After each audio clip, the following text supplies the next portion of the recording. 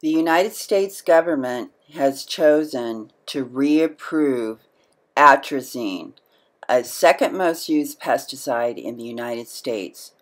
Dr. Tyrone Hayes, the youngest professor to get tenure at Berkeley University, the fourth most prestigious university in the country, said that his research showed that atrazine is feminizing our men. It is actually turning our men into women, and that's what his research has shown. Let's listen to his research and what he learned. Okay, went, went something like this. so we did these experiments, and I was just making this up. I didn't know what we were doing. I said, hey, let's put four females in there because I wanted to know if these atrazine treated males could compete and behave like a male. Put four control, four atrazine treated males, and just see what happens. Right? Everybody was a virgin. Nobody had experience. They'd never seen females before. Here's how it went down. We put them in, and I know you the guys are thinking that's not the kind of sex ratio I wanted to club. But the idea is we wanted them to compete, so the females had to be limiting. So we put them in there at 7 p.m. The lights go out, put on a little Marvin Gaye, and then come back the next morning, and you could count. We, so we had stitches in there so we could tell who's who, and then you could count who who was successful and who wasn't, who hooked up, as the young people say, and who didn't. Real simple. And when you do that, we found out that the atrazine treated males, we did the trials four times. Actually, we did them five times, but one student one morning kicked the pool and they broke up and we couldn't get the data. But we did it four times. Yeah, she got fired. Nah, I'm just kidding. Only two atrazine treated males ever got the female out of four trials. But not only that, see, I'm an endocrinologist. Not a, I'm, so I can't just observe, I got to measure something. So imagine you're at the club the lights come on and somebody's going around writing down who's hooked up with who. And then he pulls you apart and sticks a needle in your heart and takes out some blood. That's how this went down. It, it, doesn't kill them or anything. In fact, they like it. So if you look at their testosterone levels, these males, you find that the atrazine treated males have on average lower testosterone. But more importantly, if you look at the individual levels, and you, the ones with the hearts are the ones who made the love connection, it seems like there's a threshold dose that if you don't have above this amount of testosterone, either the females don't like you or the other males beat you up. And these atrazine treated males just don't have enough testosterone to be competitive. So there's a real behavioral effect. Even if you don't turn into a female, you still don't do okay as a male. Less testosterone in our males. Are some things starting to make a little sense now? Now, I could have published that males turning into females and losing their, their vir, not virginity, virility. That's, that's the word. Freudian slip there. I could have published that. But again, I had tenure. I was in no hurry. I did another series of experiments that I call the Motel 6 experiments. See, in this case, I just got them a room. No competition. I just said, I'm going to give you a female little Marvin Gaye, and then we just let them lay eggs and we counted the number of fertile eggs. So it was a way of measuring the fertility of each male. So literally, so some eggs don't hatch at all, some are in various stages of development. So, and it was a complicated analysis. There's a student sitting there going, one, two, three, four, for weeks. But if you do that, sometimes the answers are simple. You find out that, at, that control males fertilize about 85% of a female's eggs, whereas atrazine treated males only about 15%. For two reasons. I'll tell you one and then I'll show you one. One of the reasons is the atrazine treated males don't even try. They just sit there and watch the females lay eggs. They don't have enough testosterone to show the behavior. So it has nothing to do with competition. Even if there's not another male, they're not interested. And there's more to that story, but it's not published yet. I'll have to tell you some other time. The other reason is who, who, who knows statistics and likes, you like p-values? You know what I like even more than p-values? When you can see the difference. Can you see the difference between a controlled testis and an atrazine treated testis? So I had students that had nothing to do with raising the animals or the behavioral stuff or any of the project. They could just sort these photographs just by looking at them. Because what happens if you're a control is you have testicular tubules, and see, that's all sperm in there, all that dark stuff you're, you're, you're ready to go. Whereas if you're atrazine exposed, most of your testicular tubules, see here's the outline, have a little cellular debris. They're devoid of sperm.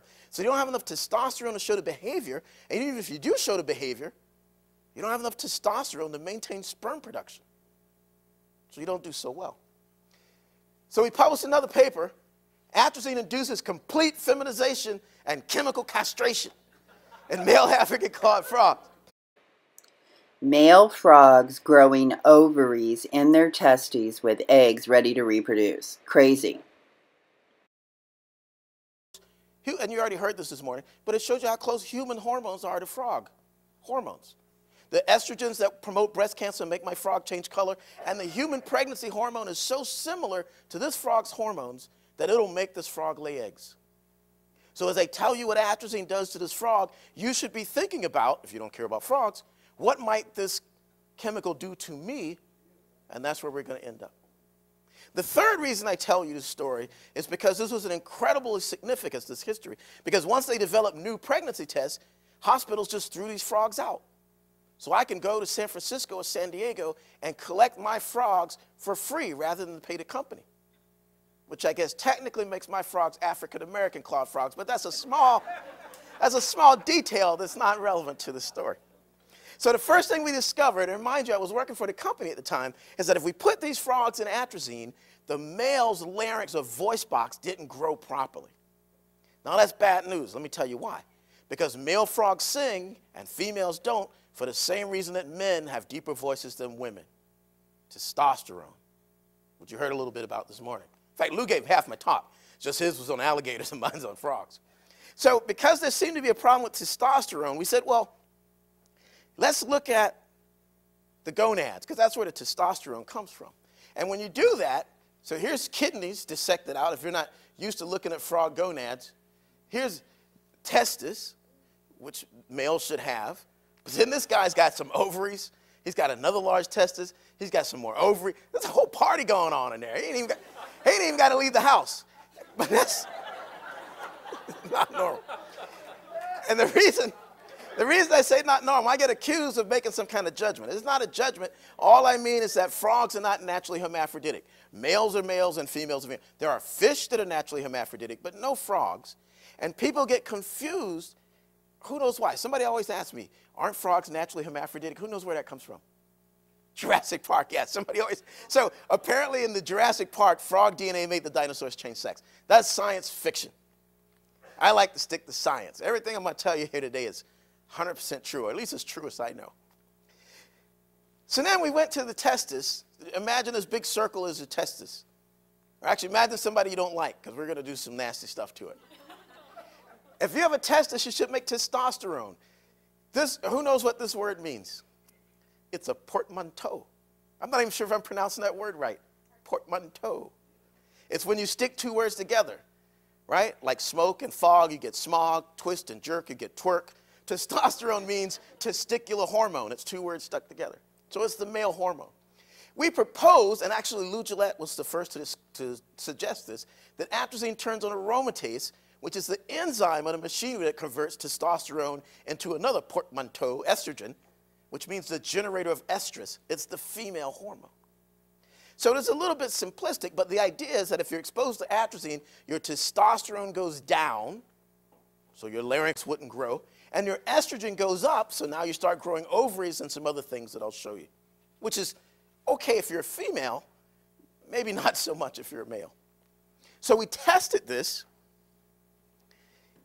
we just measured testosterone levels, which we can do just like they do for humans. We measured control males, and these are daytime low levels. They'll go up to like 30 or 40. And then we measured atrazine treated males and then control females. And we showed that indeed these guys had very low testosterone.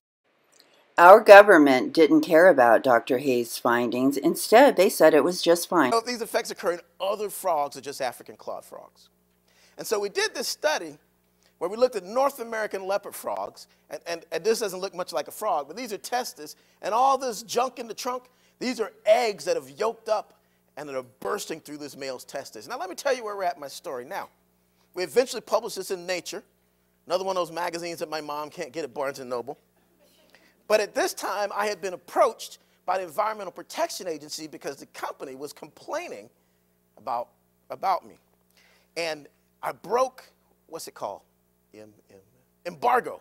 I broke embargo and I sent the data to the EPA before it was, it could have cost me my publication. And the, the EPA, I'm gonna say his name on camera, Tom Steeger, emailed me back and he said, Well, Tyrone, I still have the email. He said, Well, thank you, Dr. Hayes. This is an interesting finding, however, not one that we see as an adverse effect that would trigger reassessment and regulation of the herbicide atrazine. Dr. Hayes found atrazine can affect reproduction for three generations.